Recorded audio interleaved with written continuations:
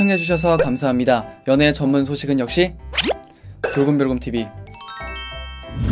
돌곰별곰TV의 모든 영상은 전 세계 언어의 자막을 포함하고 있습니다. 유튜브 설정을 통해 자막 기능을 활성화하세요.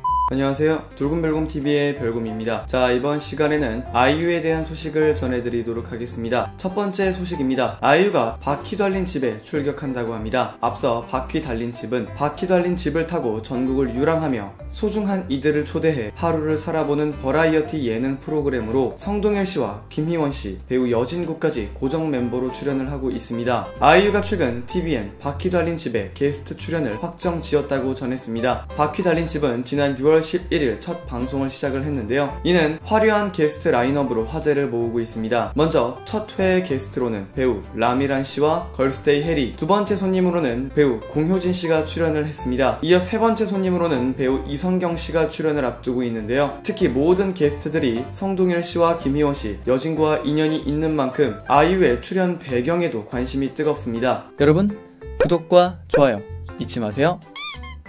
아이유는 지난 2019년 9월 최고 시청률 12%를 기록하며 화려하게 막을 내린 TVN 호텔 델루나의 여진구와 함께 출연을 했습니다. 호텔 델루나 정말 명작이죠. 더불어 성동일 씨와는 SBS 달의 연인 보보경심 려에서 호흡을 맞춘 바 있습니다. 음악과 드라마, 영화, 예능 등 다방면에서 왕성한 활동을 펼치고 있는 만능 엔터테이너인 아이유가 바퀴 달린 집에서는 어떠한 유쾌한 에너지로 시청자분들에게 힐링을 선사할지 기대감을 높이고 있습니다. 두 번째 소식입니다. 최고의 태몽 성공을 가진 남녀 아이돌 중 아이유가 선정이 되었습니다. 지난 1일 오후 8시에는 엠넷 예능 프로그램 TMI 뉴스가 방송이 되었습니다. 이날 TMI 뉴스는 최고의 태몽을 가진 아이돌을 주제로 진행이 되었는데요. 이에 여자 아이돌 1위가 바로 아이유가 선정이 되었습니다. 아이유의 어머님은 여의주를 물고 하늘로 승천하는 쌍용 꿈을 꾸었는데요. 이에 전문가는 모든 것을 이룬다는 최고의 태몽이라고 설명을 했습니다. 그게 아이유네요. 와 정말 최고의 태몽이 맞는 것 같습니다. 크게 화제가 되었던 아이유에 대한 소식을 전해드려 봤습니다. 여기서 잠 잠깐 여러분들의 최애 연예인분들이나 각종 정보 기사 등을